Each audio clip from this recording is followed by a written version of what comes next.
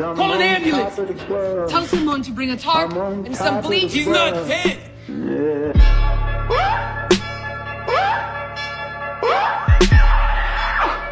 How was that, Mike? I hold it together for you?